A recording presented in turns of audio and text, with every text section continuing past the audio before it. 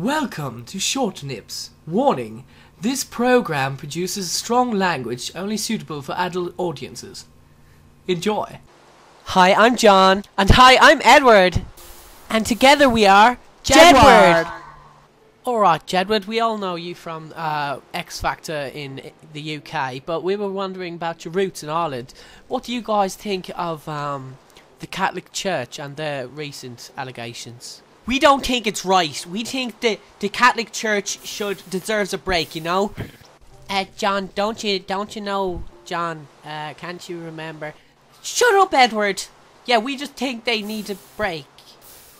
Break. Edward, no! Break.